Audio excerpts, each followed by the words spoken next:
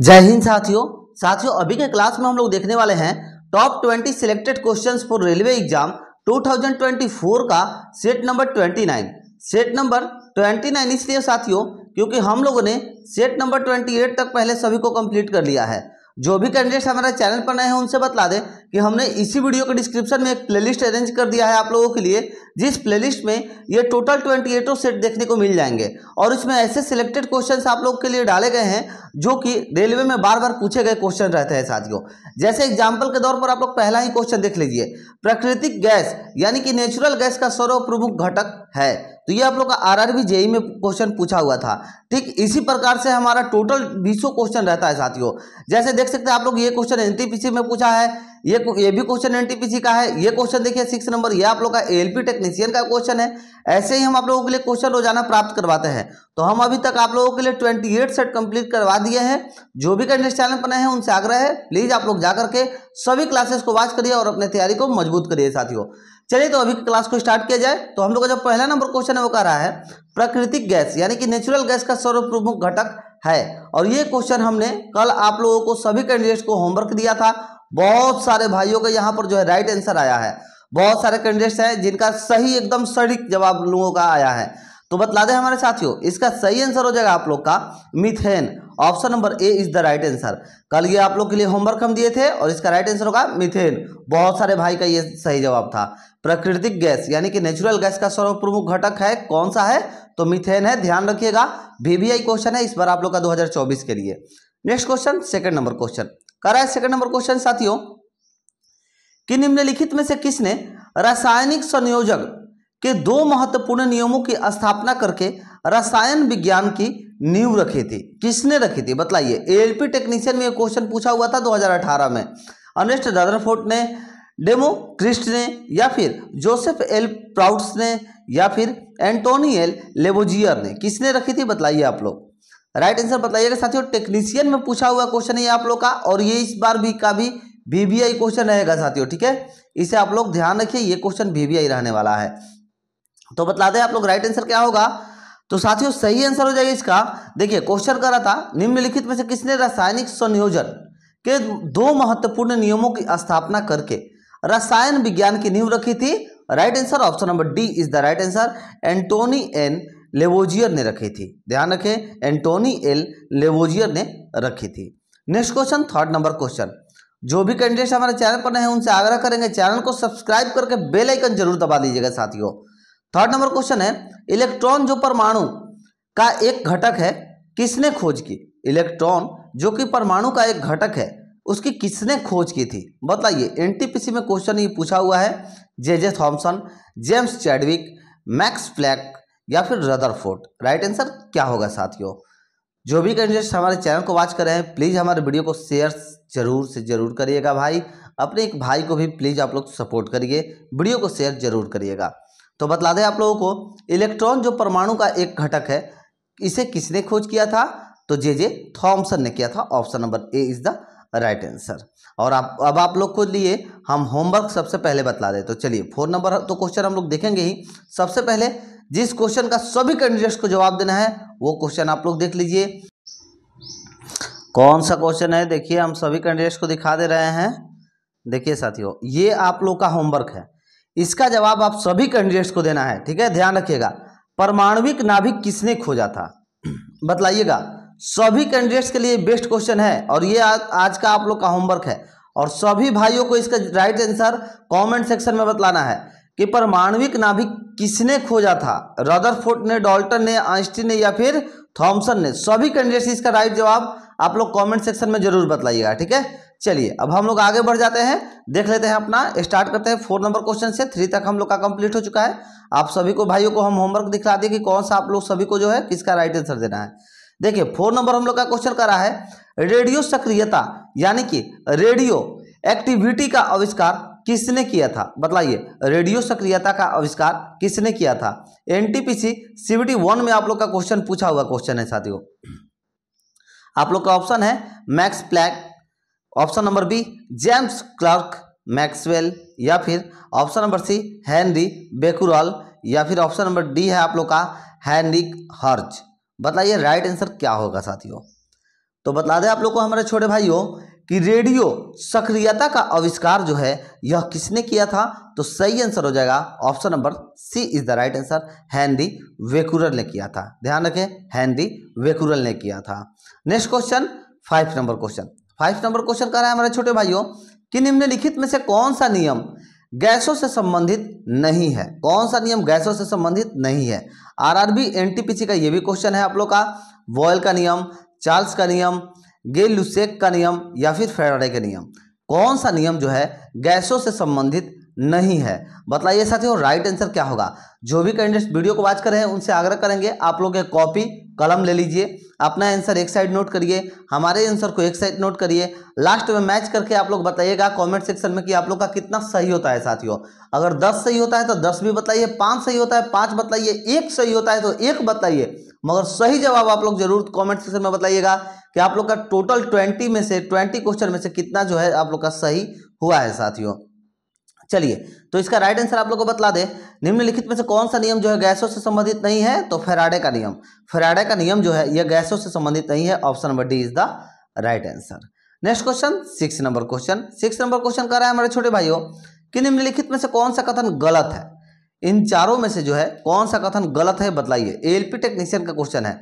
ठोस पदार्थों का आकार अनिश्चित होता है, ठोस पदार्थों का आयतन निश्चित होता है, ठोस पदार्थ कठोर होते हैं, या फिर ठोस पदार्थ लगभग असंपीडनीय होती है। बतलाइए राइट आंसर क्या होगा? निम्नलिखित में से कौन सा कथन गलत है? तो सही आंसर हो जाएगा हमारे छोटे भाइयों option number A is the right answer ठोस पदार्थों का आकार अनिश्चित होता है। Option number A is the right answer next question seven number कह रहा है सेवन नंबर क्वेश्चन हमारे दोस्तों, कि उस प्रक्रिया को किस नाम से जाना जाता है, जिसमें ठोस पदार्थ को गर्म करने पर सीधे वह गैसीय अवस्था में बदल जाता है। बताइए, क्या किस नाम से? वियोजन से, विलियन से, उधर्वपातन से या फिर वाष्पीकरण से? बताइए साथियों राइट आंसर क्या होगा? उस प्रक्रिया प्रक्रिया को किस नाम से जाना जाता है? जिसमें ठोस पदार्थ को गर्म करने पर सीधे वह गैसीय अवस्था में बदल जाता है। तो आप लोग के सही आंसर हो जाएँगे हमारे छोटे भाई। Option number C is the right answer उधर पातन option number C the right answer उधर पातन। और ये क्वेश्चन साथियों वीबीआई क्वेश्चन है इसे आप लोग ध्यान रखें। आप लोग से निवेदन है आप लोग प्लीज़ इसका स्क्रीनशॉट ले लें और इस क्वेश्चन के एक, एक अलग नोट्स में बना लें साथियों। नेक्स्ट क्वेश्चन बढ़ते हैं हम लोग एट नंबर क्वेश्चन की तरफ़। कहता है कि डैश डैश मध्यवर्ती तरल अवस्था में परागमन के बिना किसी तत्व को प्रत्यक्ष रूप से ठोस से गैस अवस्था में परिवर्तित करने की प्रक्रिया है। मतलब ये क्या है? एनटीपीसी का क्वेश्चन है उधर्व्यपातन है, वाष्पीकरण, संघनन या फिर परिशोधन। मतलब ये राइट आंसर क्या होगा दोस्तों? डैश, मध्यवर्ती तरल अवस्था में परागमन में, परागमन के बिना किसी तत्व को प्रत्यक्ष रूप से ठोस से गैस अवस्था में परिवर्तित करने की प्रक्रिया है। क्या है साथियों? सही आंसर हो जाएगा ऑप्शन नंबर बी वाष्पीकरण है। ध्यान रखें, वाष्पीकरण इसका सही आंसर होगा। नेक्स्ट क्वेश्चन नाइन नंबर कह रहा है दोस्तों नाइन नंबर क्वेश्चन कि सामान्यतः पदार्थ की अवस्था में भौतिक वर्गीकरण में अवस्था को शामिल नहीं अच्छा अच्छा देखिए, यहाँ पर जो है ना मित्र, यहाँ पर डैश होगा। मे के बाद जो है मे के बाद आप लोग को यहाँ पर हम बतला दे रहे हैं। मे के बाद क्वेश्चन में थोड़ा सा टाइपिंग रहे, यहाँ पर डैश होगा। यानी कि यहाँ पर बीच में आप लोग को कौन सा फिल होगा, इन चारों ऑप्शन में से ये बतलाना है। देखिए, सही मैंने में क्वेश्चन जो होगा, हम आप लोग के लिए पढ़ रहे हैं, इसको थोड़ा ध्यान रखें। सामान्यतः पदार्थ की अवस्था में भौतिक वर्गीकरण में डैश डैश अवस्था को शामिल किया जाता है। बताइए, कौन सी अवस्था को शामिल किया जाता है? ठोस अवस्था को, कोलाइडल अवस्था को, गैसीय अवस्था को, या फिर द्रव्य अवस्था को? एनटीपीसी का ये भी क्वेश्चन है आप लोग का। तो सही आंसर होगा हमारे छोटे भाइयों, option number B is the right answer, colloidal को। Option number B is the right answer, colloidal. Next question, ten number. Ten number question कर रहे हैं हमारे छोटे भाई। कि निम्नलिखित में से कौन सा कथन गलत है? निम्नलिखित में से कौन सा कथन गलत है? L P C B D one का आप लोग का ये क्वेश्चन पूछा हुआ था, ठीक है? ध्यान रखें, इन चारों में से बतलाना है कौन सा कथन गलत है। तो चलिए हम लोग कथन पढ़ लिया जाए। पदार्थों के कण स्थिर अवस्था में होते हैं। पदार्थों के कण एक दूसरे को आकर्षित करते हैं। पदार्थों के कणों के बीच में रिक्त स्थान होते हैं या फिर पदार्थ के कण बहुत छोटे होते हैं। राइट आंसर क्या होगा? निम्नलिखित में से कौन सा कथन गलत है?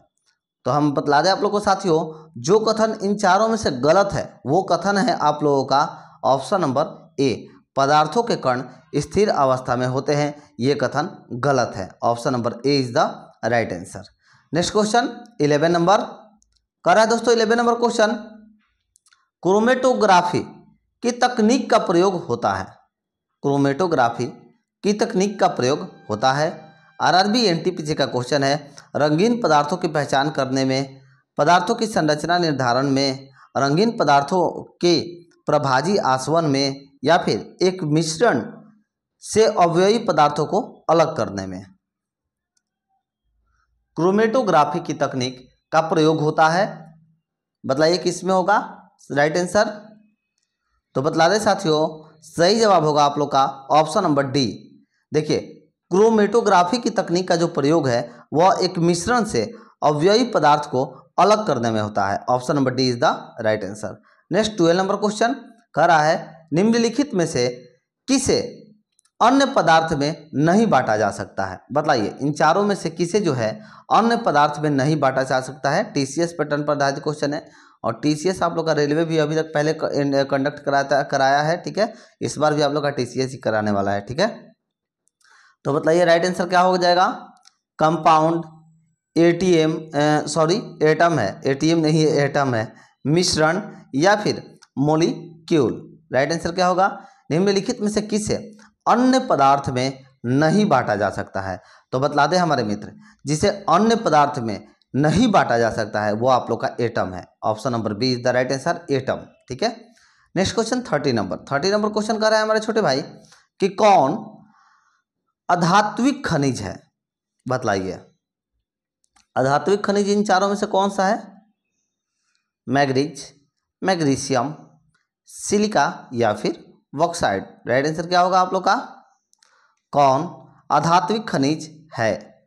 तो बता दें हमारे छोटे भाई, सही आंसर हो जाएगा आप लोगों का silica. Option number C is the right answer silica. Silica जो है, यह आप लोग का अधात्विक खनिज है, इसे ध्यान रखें। नेक्स्ट क्वेश्चन फोर्टी नंबर कर रहा है कि निम्नलिखित में से किस वैज्ञानिक ने पदार्थ की पांचवी अवस्था के लिए कुछ गणना की थी? बताइए निम्नलिखित में से किस वैज्ञानिक ने पदार्थ की पांचवी अवस्था के लिए कुछ गणना की थी? तो देखिए एलपी टेक्नीशियन का क्वेश्चन है आप लोग का। राइट आंसर क्या होगा? होमी भाभा, विक्रम साराभाई सीवी रमन या फिर सत्येंद्रनाथ बोस। तो बतला दें हमारे छोटे मित्रों कि निम्नलिखित में से किस वैज्ञानिक ने पदार्थ की पांचवी अवस्था के लिए कुछ गणना की थी? राइट आंसर हो जाएगा option number D Satyendranath Bose ने की थी।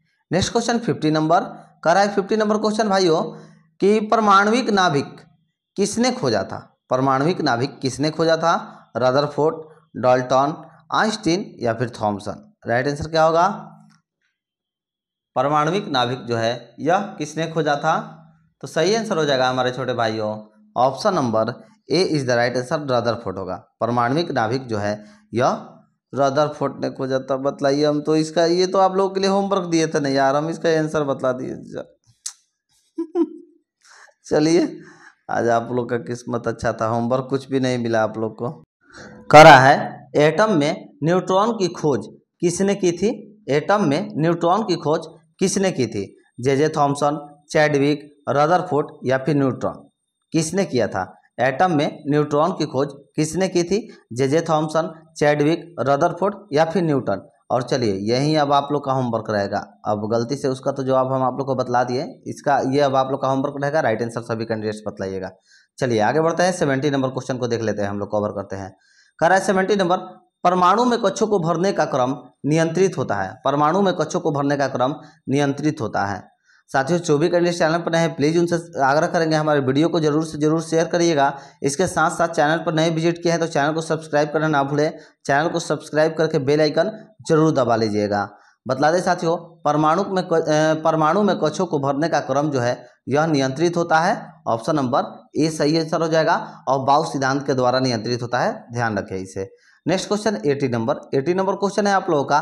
सितारों में प्लाज्मा सितारों में प्लाज्मा बनने का कारण है। एलपी टेक्नीशियन का ये आप लोग का क्वेश्चन है। बताइए, क्या होगा? सितारों में प्लाज्मा बनने का कारण है। राइट आंसर क्या होगा? उच्च दाब, कम तापमान, मध्य तापमान, उच्च तापमान। सही आंसर हो जाएगा साथियों आप लोग का उच्च तापमान। ठीक है? सितारों में प्लाज्मा बनने का कारण उच्च तापमान होगा। Option number D is the right answer next ninety number कह रहा है साथियों नाइनटी नंबर क्वेश्चन सभी तत्वों के परमाणुओं का आकार होता है। सभी तत्वों के परमाणुओं का आकार होता है। आरआरबी एलपी टेक्नीशियन का क्वेश्चन वर्गाकार षष्टकोण गोलिया या फिर त्रिभुज। सभी तत्वों के परमाणुओं का आकार होता है। सभी तत्वों के परमाणुओं का आकार होता है। सही आंसर होगा गोलिया। Option number C is the right answer गोलिया। सभी तत्वों के परमाणु का आकार जो है, यह गोलिया होता है। ध्यान रखें। नेक्स्ट क्वेश्चन ट्वेंटी नंबर कह रहा है साथियों ट्वेंटी नंबर क्वेश्चन कि निम्न में से कौन सा गैस द्रव्य और ठोस स्थिति में मुक्त रूप में उपलब्ध होता है? बतलाइए। बेस्ट क्वेश्चन है ये आप लोग का। बतलाइए। निम्न में से कौन सा गैस जो है, वह द्रव्य और ठोस स्थिति में मुक्त रूप से, मुक्त रूप में उपलब्ध होता है? बताइए। इन चारों में से कौन सा गैस है? सी ओ है सी ओ टू सी ओ टू है या फिर ओ टू है या फिर एच टू ओ है? बताइए ग्रुप डी का क्वेश्चन है साथियों। बेस्ट क्वेश्चन है और आज का आप लोग का लास्ट क्वेश्चन है, ठीक है? ध्यान रखें साथियों, जो भी कैंडिडेट चैनल पर हैं, प्लीज़ आप उन लोग से आग्रह है, चैनल को ज़रूर सब्सक्राइब करिए रंजीत ऑनलाइन स्टडी हमारे चैनल का नाम है, ठीक है? तो आप लोग का सही आंसर हो जाएगा हमारे मित्रों सी ठीक है? ध्यान रखिएगा सी गैस जो है, यह द्रव्य और ठोस स्थिति में मुक्त रूप में उपलब्ध होता है। Option number B is the right answer. चलिए साथियों, आज का हम लोग का क्लास खत्म हुआ। अगर आप लोग को हमारा क्लास अच्छा लगता है तो प्लीज़ वीडियो को शेयर करें, चैनल पर नहीं विज़िट किए हैं तो चैनल को सब्सक्राइब करना ना भूलिएगा। उसके साथ साथ साथियों, आप लोग को बतलाते हैं, हम आप लोग को रोज़ाना जॉब्स के भी अपडेट्स बतलाते रहते हैं। तो जॉब के भी अपडेट आप लोग को अगर पाना है तो उसके लिए भी चैनल को सब्सक्राइब ज़रूर कर लीजिएगा। चलिए मिलते हैं नेक्स्ट वीडियो में एक नई जानकारी के साथ। जय हिंद, जय भारत।